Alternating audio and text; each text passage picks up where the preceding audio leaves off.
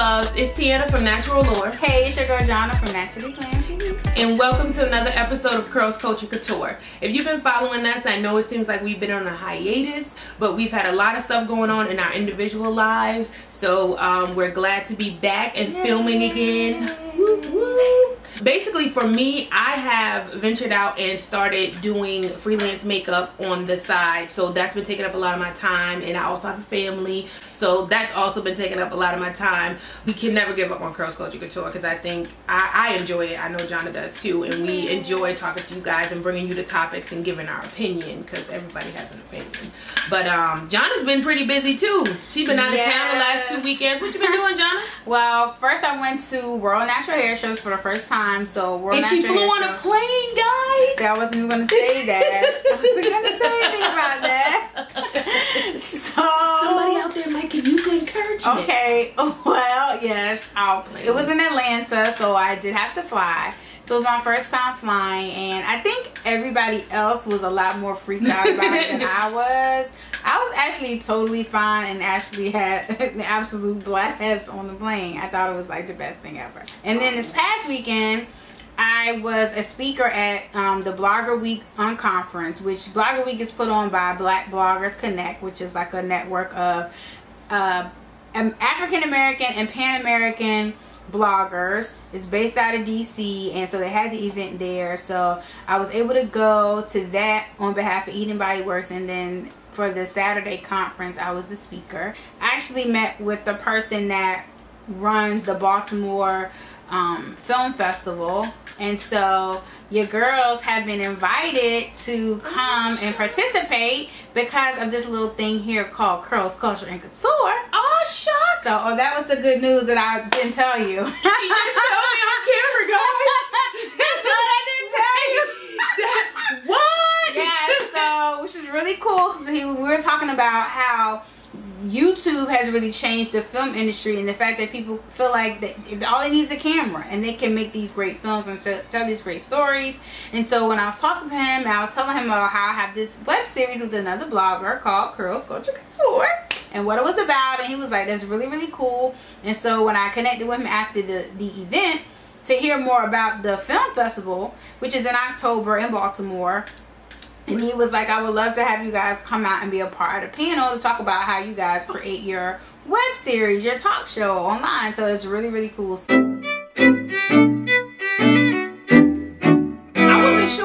Were you out of town when the Mayweather fight took place? Yes, the Mayweather fight was the same weekend as Blogger Week, and we were not going to pay anybody any types of dimes to see that fight. And we were actually going to the girls that I went with we were actually going to pitch in and buy the fight and just watch it at the hotel but then we were like nah you know we just kind of say you know what forget it. We'll just we'll just hear about it. And, and good thing that they did and not so I'm glad we did because I heard it was I watched it. I didn't pay for it. I went to a fight party. It was actually my uncle's birthday and he got the fight. Well, my cousin got the fight for him as a present. And, you know, I actually, honestly, I have not watched a fight in a very long time. I like boxing. It's just not my thing to be like, oh, I gotta go watch it. But I'm like, everybody's talking about the biggest fight of the century. They've been trying to get these guys to fight for years. Mm -hmm. There's a lot of money on the table. What's it, what's it gonna hurt? So opening up, you got Jamie Foxx singing the national anthem. Poor baby. We all know that Jamie can sing. Everybody has bad days. So I ain't even gonna... It, it, to me it's pointless. You know, he did a he had a bad performance, but we all know Jamie can blow. So that's so neither here nor there. bad? Because what the little snippet I heard where he said hallelujah. No, that was at the end. It didn't sound so that, bad. So I was, was like, uh, the, is this what everybody was talking That about? was at the end, but when he okay. came out, he immediately took his earpiece out. So I think sound it has something to do with the sound. He couldn't hear the music in his ear. That has a lot to do with performers as well. They need that sound in their ear. But as soon as he got up there he took it out. So something must have been going on. Then he said it was a lot of people in there which it was. And he was like the crowd it just something was going on with that. But you know i'm gonna give him a pass because jamie can sing so i ain't mad. But that was just like the topper to it. So you got these fighters uh mayweather and pacquiao who people been waiting forever to see. And you go 12 rounds and it's 12 rounds of dipping and dodging and Pacquiao was just like hitting his little heart out. I mean, I can't even remember his numbers, but he was up there. Like him and Floyd had like the same. Their numbers were very close, mm-hmm. but Pacquiao threw a lot more punches than Mayweather did. And Mayweather is a very good defensive fighter. I think that's why he is now 48 and 0 because it's like you can't touch him. He's like hammer in the ring. You just can't touch him. They try, he tried to get him in the corner and it wasn't working. But for me, I felt slighted because I'm like, well, these guys made a lot of money. I don't know if you guys know the digits, but it was something to the sum of $86,000 per second. Mayweather was making at least that much. The longer he stayed in the ring, the more money he stood to win. And I just feel like both of these guys are good fighters in their own right. But I feel kind of gypped. I felt like they were going to really get in there and give the people a show. And that's not what I felt. I felt like the fight was garbage. I checked on Twitter, checked on Facebook, and I saw that a lot of people felt like the fight really wasn't worth the hype. Like, this fight was what, $100? So that's $100 in what? How, 12 rounds? You got what, 30 minutes, 40 minutes of your life you just cannot never get back you know so i felt it i was a little gypped. I really didn't like how mayweather was very cocky at the end but that's what he's known for at the end of the day. But he already knew he won and then you got pacquiao poor baby over here in the corner. He just want to give the glory to god and he want to do it for the philippines. And he when they announced the winner he said i thought i won. He was really convinced that he thought that he won and it was just to me i felt like it was more of the publicity. It was more of the hype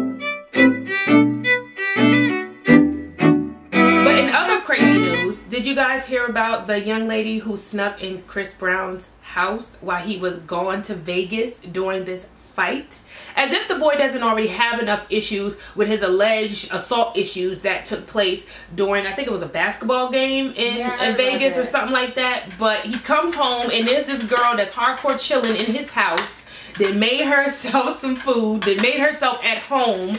Put her away, stuff out. Put the, put the baby stuff, stuff out, out put his dog stuff, stuff out. out, and vandalized his car, wrote some I love you type situations. And when he got back, his security, of course, they're going to sweep the premises to make sure nobody is in there. And they find her in his bed.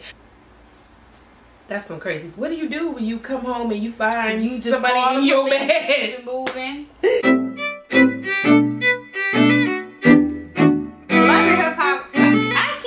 keep up with what's going on this season. Nikko's wife is now on the show. You know, Kirk has this little boo shorty that's supposed to be his artist, and he has a new apartment that's supposed to it's be an office. office. But a bed in it. And um, Stevie J and Joseline are in and out of rehab, and and and and Scrappy not paying child support. Mama Dee is singing, got a singing career, and she's back with her ex husband that she put in jail, but now they back together now that he home. Mm-hmm. Yung Joc got a lot of baby mamas, and he's still sleeping with all of them, trying to juggle that, and it's not working out too good for him. Karlie Redd um, opening up boutique. Karlie Redd opening up the store behind Erica's back because she's supposed to be opening the store with Erica. It's not the fact that she went and opened a boutique without Erica. That's mm-hmm. not the problem. The problem is you didn't communicate that to Erica mm-hmm. and let her know what was going on so y'all can have that communication, find out what's the delay. Erica Rasheeda. and Rasheeda, they were real messy for going in and knocking themselves because to me that was so petty. At the end of the day, stay classy. Keep mm-hmm. it classy. Don't let anybody being petty, which you all know Karlie's petty. Mm-hmm. Don't let her being petty make you look petty. This is the thing about reality TV. And me and Tiana was talking about this, and she has a video on her channel where she's talking about when is reality TV, when is it too much, and when do you just gotta like, you know, tune out of this reality TV. Well, we both know we're guilty. We we do like to watch reality TV, but my thing is, I understand that purely clearly it's entertainment and that they do stuff that's wrong like what what people mess up is they watch reality TV and they think that's how they're supposed to handle situations.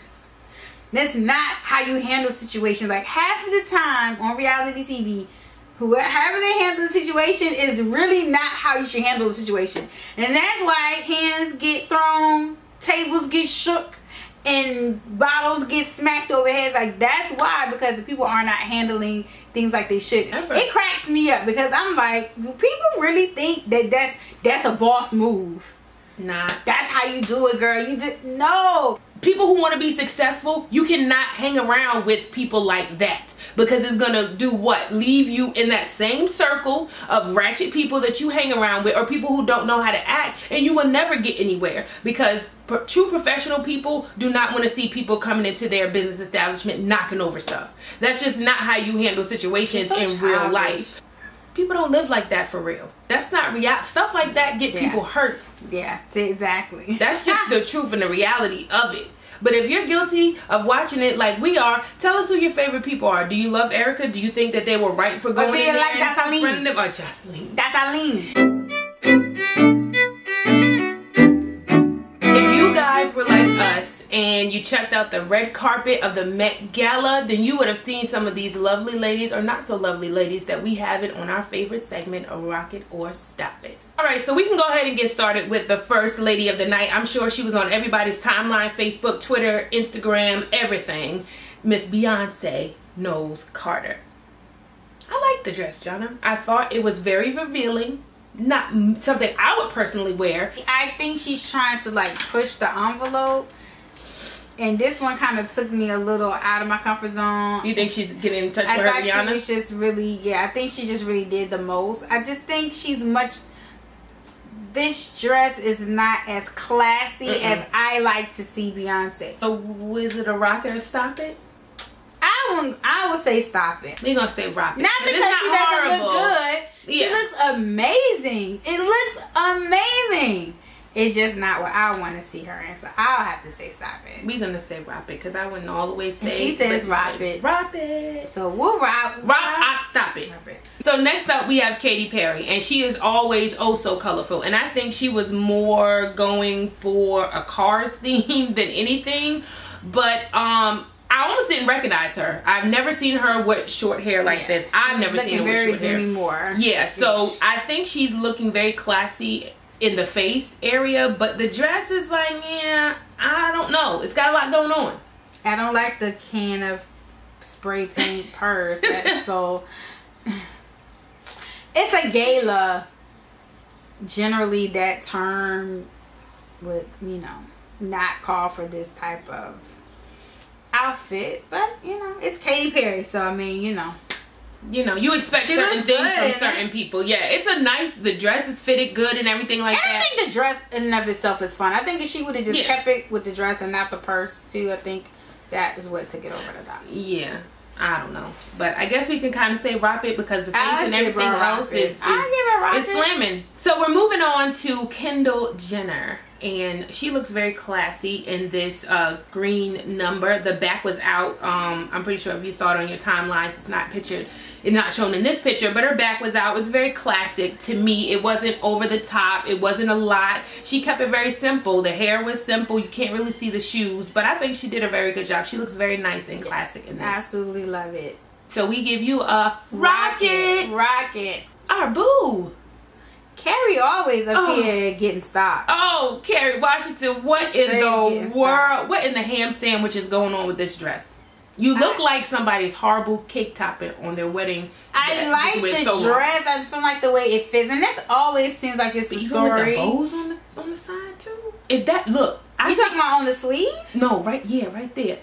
Even you know what? It I would have been if it perfect. fitted properly, the neckline is too high. I love how she's always doing the mix of colors. So I Yeah, I love those green shoes. and the green purse. I absolutely love it, but the dress I just don't feel like. I feel like she put it on. I don't feel like it was fit to her. Yeah, I, just feel like she just put it on. It's just not a good look for you, Kerry. We're gonna have to say stop, Yeah, stop it. it.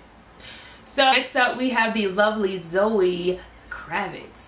She's looking oh so timeless in this number and showing a lot of skin, but not too much skin, but a little bit of skin. Um, I like it. I think that it's age appropriate since we're talking about people being able to, you know, maybe just bear it all and maybe not bear too much. But I think it's very age appropriate for her. And, you know, it's Lenny Kravitz's and Lisa Bonet's daughter, man. She's, she's dope. Just in and of itself, she's just she looks very nice here. What do you think? I'm gonna give her a rocket because it's her style. You can tell it's her style. You know, if you know how you know what her style is, you can tell it's almost like Lenny Kravitz, Lisa Bonet. They both have like that, Like that style, and it may not be your style, but Mhm. it's theirs, and you know that they, they it looks good on them, Mm-hmm. even if it's not something you would wear. It's the same thing. This may not be something that I particularly like, but it looks good on her and it fits her personal style. Mhm. So I'll give her a, um I will give her a rocket on that. You It's definitely get a rocket. So we thank you for joining us for this episode. If you see anything here that you'd like to comment on and start a conversation with us about, please leave us a comment below. Don't forget to follow us on Instagram at Curls Culture Couture. And if you'd like to be featured, email us at curlsculturecouture at gmail.com or you can hashtag Curls Culture Couture on Instagram to be featured, you lovely, lovely ladies and gentlemen. So that does it for this episode. As always, we love that you tune in. We love that you rate, comment, and subscribe and share these videos so we can bring you many, many more videos. And until next time, you know what to do. Peace. Here it come. Here it come, y'all.